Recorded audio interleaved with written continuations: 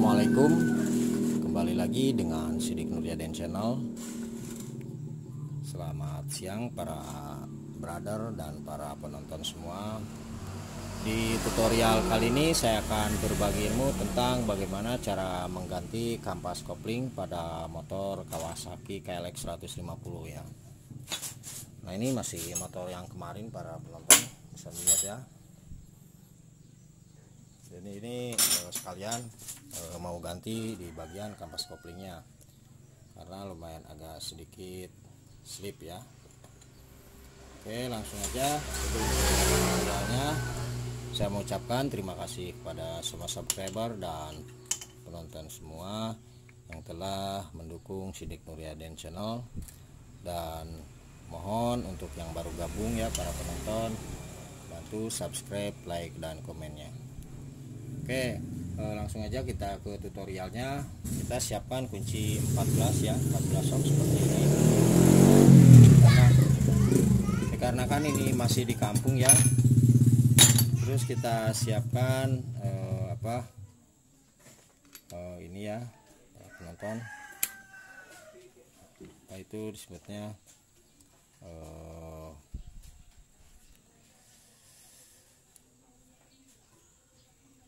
sambungan ya.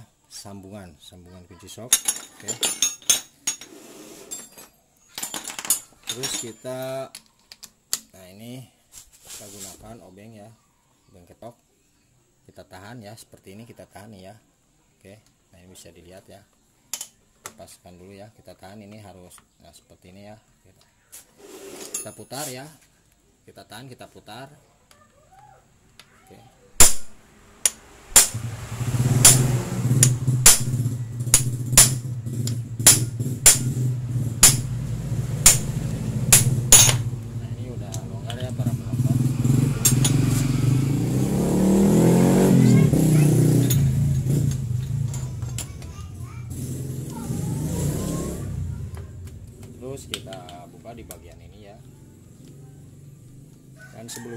di bagian depan tadi ya ini ada klaker ya. Ada klaker udah saya buka ya para penonton. Nah, ini juga di bagian klaker mungkin e, bisa berisik ya nah yang diakibatkan karena klaker ini yang mengalami kausan ya ataupun rusak ya oke kita buka aja seperti ini ya para penonton oke kita pasang dulu ya sedikit aja. Jangan terlalu dibuka ya. Kita coba kendorkan nanti di bagian ini ya.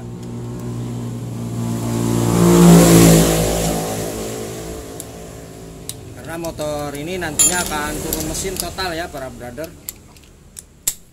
Akan dibelah. Nah saya informasikan untuk pembukaan baut ini ya.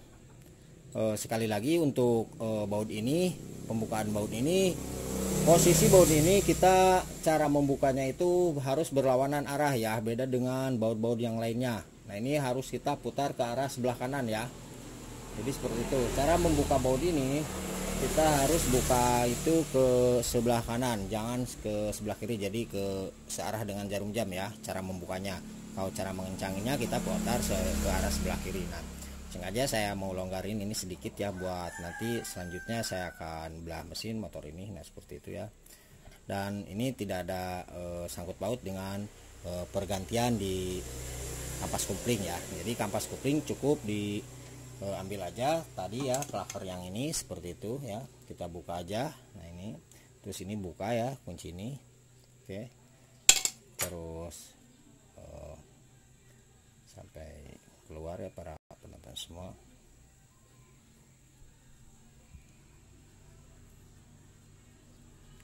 Kalau ini ke kiri ya.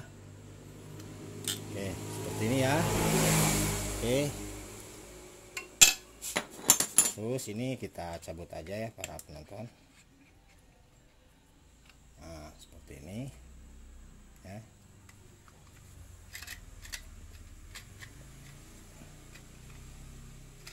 terus buka ya?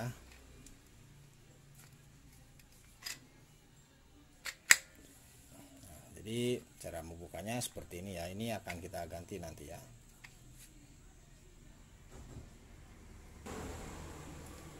Oke langsung kita ya, cara bukanya. Maaf saya gunakan kaki ya para penonton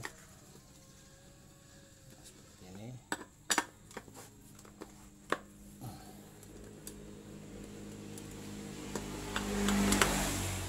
awas jangan sampai satu arah ya. Kita bolak balik nah ya. Jangan sampai satu arah.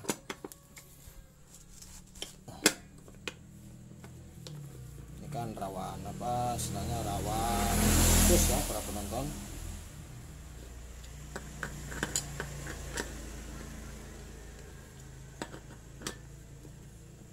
Jadi ini sengaja saya perlengkap ya semuanya dari cara membuka mur ya sampai buka kampas kopling dan pelaksanaan bagaimana cara pemasangannya. Bos, ya seperti ini. Pasti boga ada. Buat saya kan belas buat.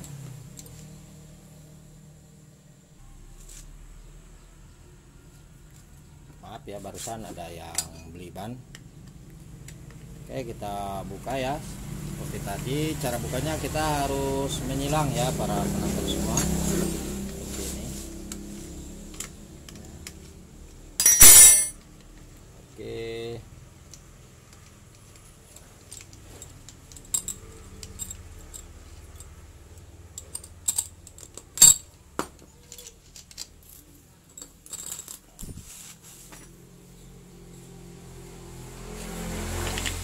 kita buka ya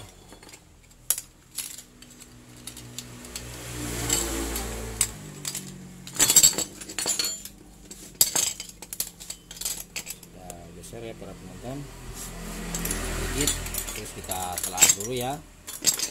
Apakah ada kendala atau tidak di bagian ini?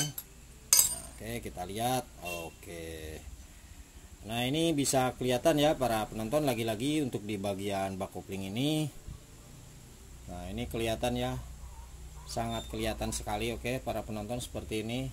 Bisa dilihat. Nah ini kita gerinda nanti ya. Ini tidak saya ganti kita gerinda aja Terus dua. Nah ya hampir semua ini ya. Ini kelihatan ya. Jadi posisi motor itu slip ya. Nah bisa dilihat para penonton semua.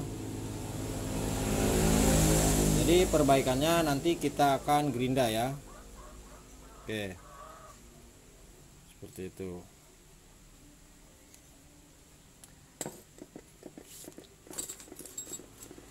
dan untuk di bagian kopling ini eh, saya kira masih bagus ya. Jadi ini tidak tidak saya ganti cuman eh, kita rendamkan aja lagi ya ke dalam oli. Terus di bagian ini bisa dilihat para penonton semua. Nah mungkin bisa dilihat ya. Jadi yang dilobangi adalah bagian ini ini juga nggak apa-apa ya para brother. Oke bagus ya. Tapi alangkah baiknya kita lobangi lagi di bagian yang ini ya di bagian eh, kaki empatnya ya. Seperti itu. Soalnya apa? Karena gini ya penutup kaki empatnya maaf ya. soalnya seperti ini ya para penonton. Nah ini kan eh, oli kan masuk dari sini ya kalau kita lubangin nanti kita lubangin aja ya di bagian ini. Kita bor aja ya para penonton. Untuk memperlancar sirkulasi oli di dalam bak kopling ya. Oke, seperti itu.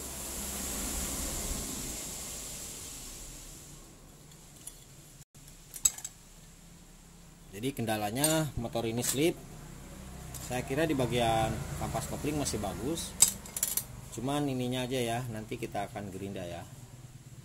Oke dan maaf saya akan cut ya untuk videonya.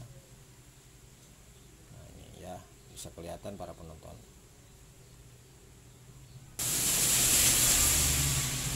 Oke langsung kita ke pemasangan. Nah ini udah kelihatan rata ya udah saya gerinda. Oke. Dan yang ini eh, tidak dibor ya. Yang tidak dibor sang pemilik minta nggak apa-apa katanya jangan dibor aja oke. Tapi saya kira untuk yang para brother mau dibor di bagian ini oke boleh ya. Seperti itu. Nah terus eh, kita pasang ya ke depan. Nah, seperti ini. Kita geser dulu ya penonton. Oke sip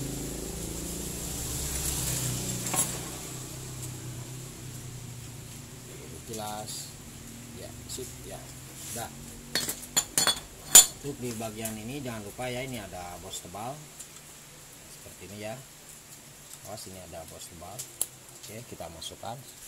Terus ada bos ya.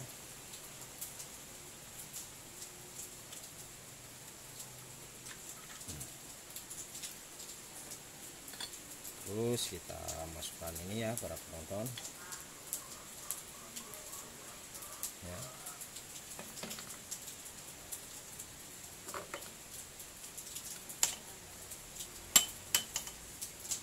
Seperti itu.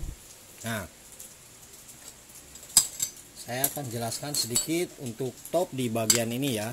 Jadi para brother ataupun para penonton semua nanti ketika pemasangan tidak dua kali ya cuma satu kali aja. Nah untuk cara pengetopan di bagian ini oke saya bawakan dulu sedikit. Nah ini bisa dilihat ya para penonton semua kalau ini kan masuk ya posisinya ya. Lihat cuakan ini. Tidak terjelas ini kan posisinya masuk ya. Kalau misalkan kita geser seperti ini ini tidak masuk ya terangkat. Nah seperti ini. Berarti ini e, tidak top ya. Nah cara mengetopkannya ini kita lihat di bagian ini. Ya, ya. E, ada nok kelihatan ini ada nok ya.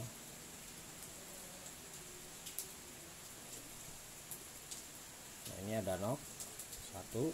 Terus ini juga ada nok ya. Berarti dua ya noknya jadi ini satu ini dua ya noknya terus di bak ini nah di apa di kaki empat ini di penutup kaki empat ini ya. Penutup kaki empat ini cuman ada satu. Nah, ini ya. Terus cara pemasangannya seperti apa? Nah, cara pemasangannya nanti harus ketemu. Nah ini kan ada di bawah ya satu ya. Ini nok contoh ya nok terus ini nok ya. Jadi posisinya harus ketemu seperti ini. Ya nah kita lihat apakah masuk, masuk atau tidak. Nah ini kan jadi tidak posisinya tidak. Nah tidak renggang seperti ini ya. Jadi posisinya kalau nok ini e, pas ya dan nok ini. Jadi posisinya harus seperti ini dan ini juga akan masuk. Nah ya. Jadi ini topnya. Awas jangan sampai e, tidak top ya di bagian ininya kaki empat sama penutupnya. Ataupun misalkan para para, para brother ya seperti ini. Ini kan ada dua ya satu terus dua yang tadi ya. Jadi dua kan yang di sini di kaki empatnya. Oke kita ini ada nok ya sekarang kita balik nah ini mau misalkan yang ada di nok ini ya di bawah Oke, dapat dipahami ya. Oke, sekarang kita pasang. Apakah sama seperti tadi posisinya? Nah, ini juga sama ya. Kalau misalkan kita diarahkan sedikit seperti ini ya. Ini tidak pas ya, berarti ini tidak top. Oke. Ini adalah hal yang sangat penting sekali ya di setiap motor ya. Jadi e, cara topnya seperti itu ya di motor Kawasaki KLX 150 dalam pemasangan eh, kampas putih Oke. ini sudah kita pasang ya jangan lupa di bagian ini nah ini kelihatan para penonton semua ada ring yang kecil jangan lupa kita pasang ya ini bolak-balik bebas nggak apa-apa usahakan terus di bagian ini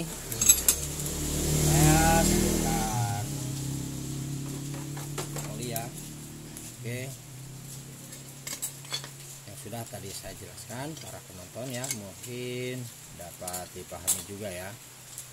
Oke kita pasang ininya ya nah ini tanda noknya ada di depan. Kita geser dulu ya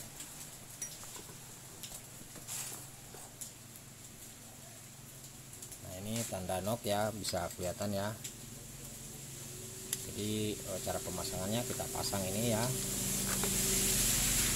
Terus bos jangan sampai ketinggalan. Ini bolak-balik juga sama ya tidak ada perbedaan untuk di bagian bos. Ini kan ada titik ya yang sudah tadi saya jelaskan ada titik ada titik. Ya nah ini ya Oke untuk mempermudah kita pemasangan kita pasangkan depan dan belakang aja. Oke kita pasang seperti ini. Ini dapat dipahami ya. Oke kemudian kita pasang di bagian kampas kopling. Seperti ini kampas kopling.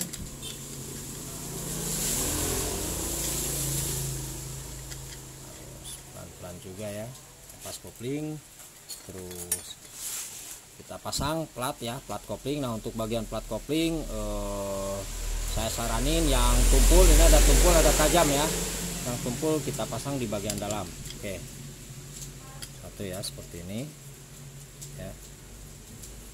Ya. Terus kampas kopling.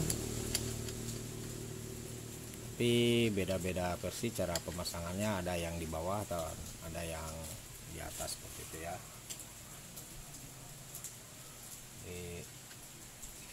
sekarang pasang lagi.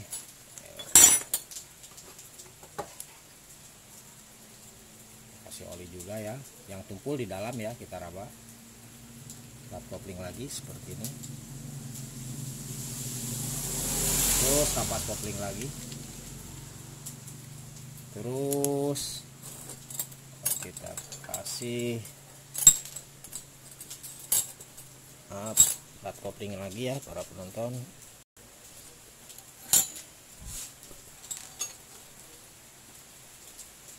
kita geser tumpul di bagian dalam. Plat kopling eh, maaf kampas kopling terus kita pasangkan plat kopling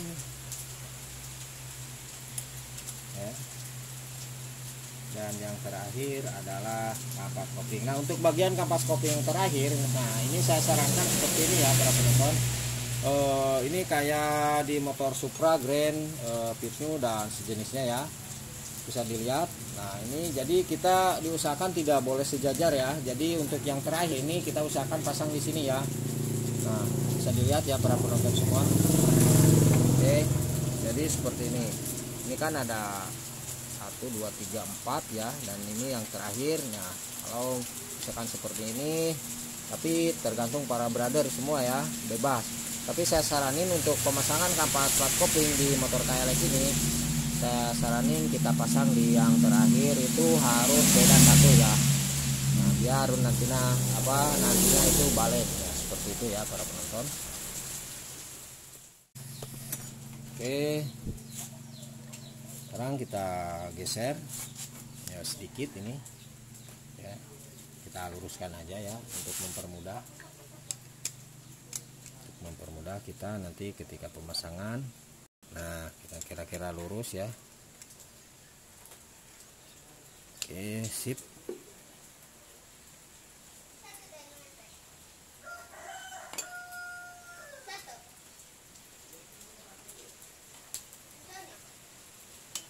ada ya nah ini para penonton bisa dilihat ya. Untuk mempermudah pekerjaan kita. Nah ini. Bentar. Bentar ya para penonton semua. Share. Nah. Ini ada nok ya. Ini ada nok terus ini ada nok juga ya. Jadi sengaja saya noknya itu pasang di depan atau di bawah ya. Untuk mempermudah pekerjaannya nanti kita ketika pemasangan di penutup kaki empatnya ya.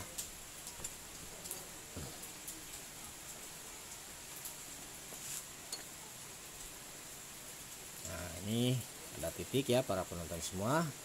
Kita mau dipasang di depan atau di bawah titik ini ya boleh Nah, saya pasang di depan aja ya. Ini kira-kira kan kita sudah lurus ya. Kita geseran lagi.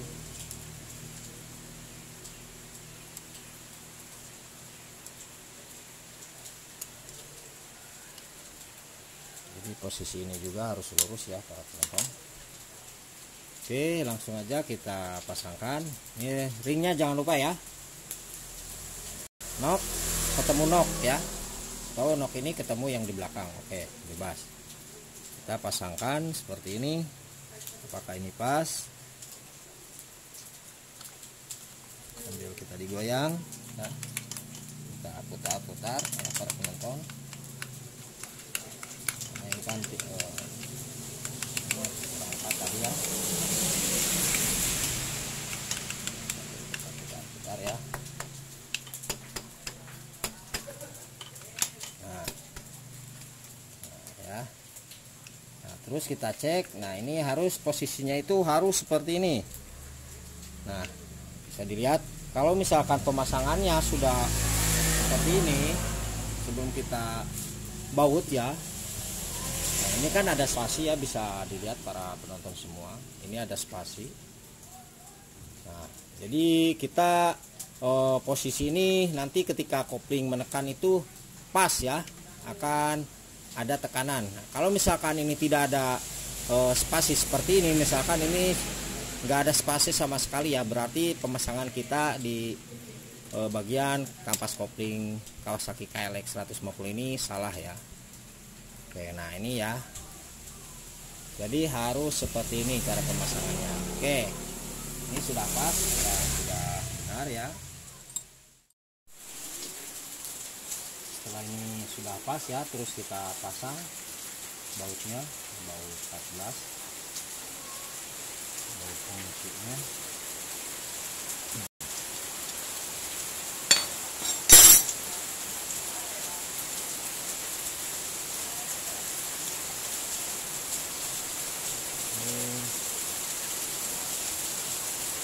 jangan terlalu kencang dulu ya lupa cek juga ya ini udah pas ya. Ada spasi ya. Ada spasi ya para penonton. Oke, sudah benar.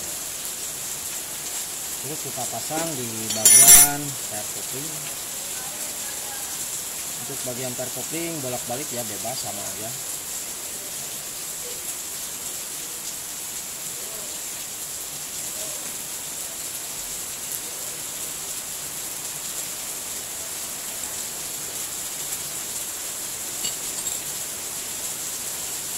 untuk bagian ini bisa dilihat para penonton semua.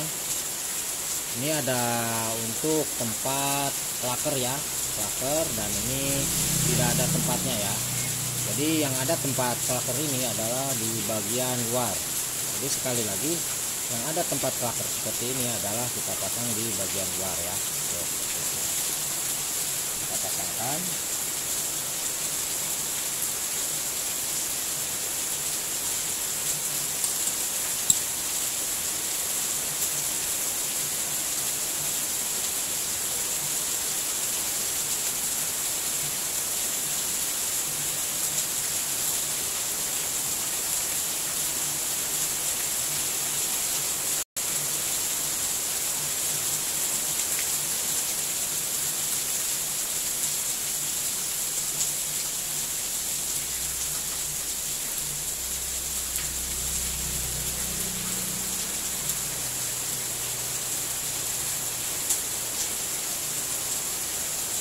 ini cara pemasangannya harus benar-benar yakin para penonton semua. Oke kita gunakan kunci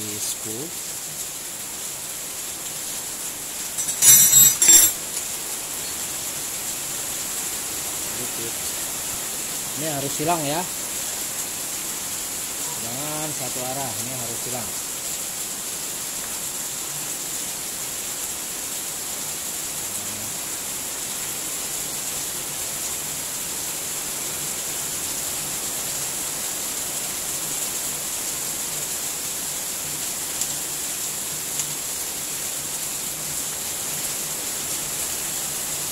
pelan-pelan aja jangan kencang-kencang ya kita pasang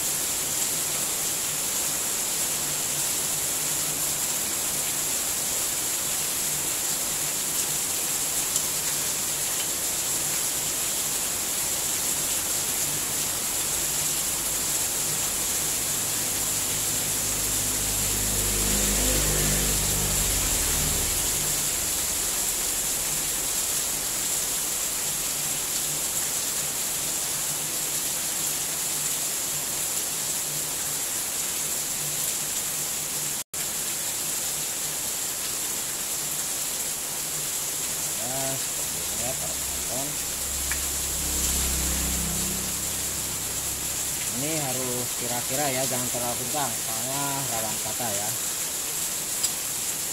Oke.